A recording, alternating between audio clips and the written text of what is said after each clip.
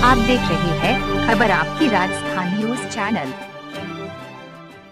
झालावाड़ ज़िले के गंगाधार वृत्त के डग कस्बे में व्यापारी के साथ ठगी व ठगी के बढ़ते मामलों को लेकर गंगाधार पुलिस उपाधीक्षक प्रेम कुमार चौधरी ने व्यापारियों व आमजन से अपील की है कि वृत्त के चौमहला, गंगाधार, डग व उन्हेल के सभी व्यापारी बंधुओं से निवेदन है कि डग में हुई ठगी की घटना को ध्यान में रखते हुए सभी अपनी दुकानदार दुकान पर आने वाले अपरिचित ग्राहकों का नाम, पता, मोबाइल नंबर पूछें।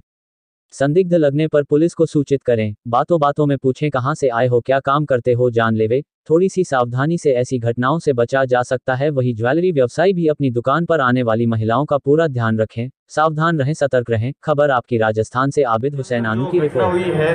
आ, इसके बारे में आ, मैंने पता किया है आसपास में मैंने बड़ौद थाने में भी बात की थी एमपी में भी आ, एक दो थानों में बात हुई थी और पिड़ावा और इस तरह के क्षेत्र में भी बात हुई थी। तो यही जो हथकंडा अपनाते हुए कि मैं हॉस्पिटल में मेरा काम है या किसी भी सरकारी संस्था का नाम लेके कि मेरा वहाँ पे काम चल रहा है और मुझे इस तरह सामान की ज़रूरत है और सामान की ज़रूरत के बाद में वो खुले पैसे लेने के लिए बात करता है और पैसे लेके फिर ठगी का शिकार बनाता है व्यापारी, व्यापारियों को। तो मेरा आप सबसे यही उम्मीद है, व्यापारी वर्ग से ये अपील करता हूँ कि थोड़ा सा सतर्क रहें, सावधान रहें।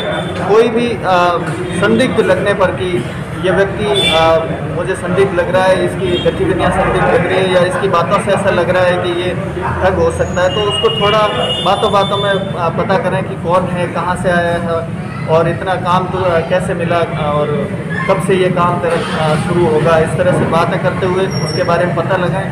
थोड़ी सी सावधानी थोड़ी सी, सतर्कता हमें बड़ा नुकसान होने से बचा सकती है। एक और भी गैंग सक्रिय, जैसे ज्वेलरी शॉप पे महिलाएँ आती है, दो महिलाएँ, चार महिलाएँ, और वो बातों में लगाकर जो ज्वेलरी व्यवसायी उसको बातों में उलझाकर उसकी दुकान से कुछ भी सामान चुरा लेती है तो इनसे भी सतर्क रहने की ज़रूरत है। थोड़ी सी सावधानी व्यापारी वर्ग को बड़े नुकसान से बचा सकती है।